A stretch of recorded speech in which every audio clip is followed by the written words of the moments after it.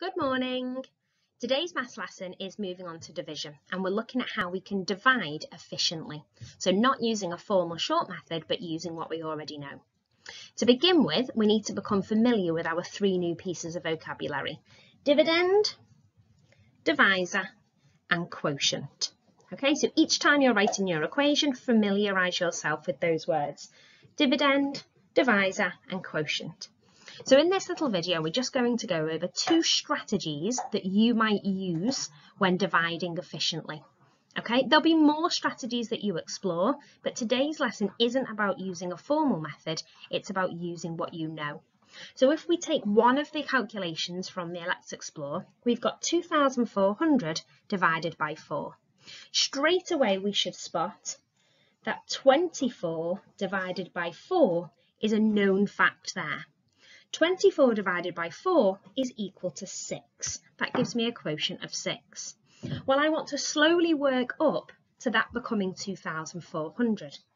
So I might move to 240 divided by 4.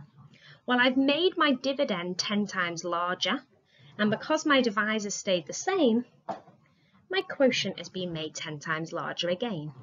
But then I'm going to keep going because I've got 24 made 10 times larger, I'm going to make that 10 times larger again to 2,400 divided by 4. And my quotient needs to be made 10 times larger too.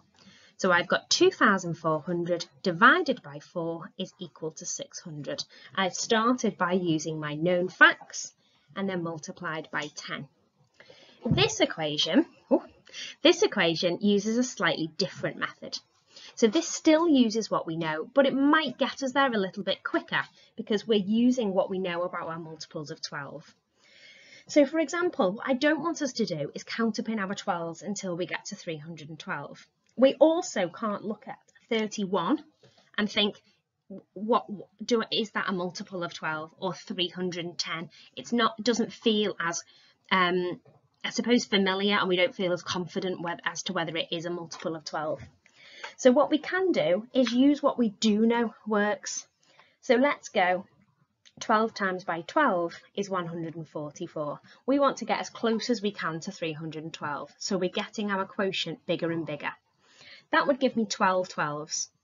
So it's still not quite close enough. So maybe we could double it.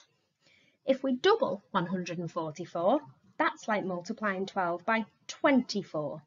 Because here we had 12 12s we're having another 12 12s now. So I've got 144 doubled, which is 288. So far, I've used 24 12s and I'm getting much closer. If I now look at how many, what is the difference between 288 and 312, I can see that there's a difference of two 12s, which would get me to 312. So I'd use 24 12s here add another two gets me to a total of 26 12s, all by using this comfortable fact here, that 12 times 12 is equal to 144. Now, as you go through the Let's Explore, you'll be able to re repeat these two strategies in your own methods, but then you've also got two other questions See if either of those strategies work for those two. Is there another strategy you could use? Each time using known facts, what you already know. Okay, this will set us in really good stead for when we move on to using a formal method because we'll be confident with our multiples and we'll be confident on how to divide larger numbers. Okay, good luck everybody.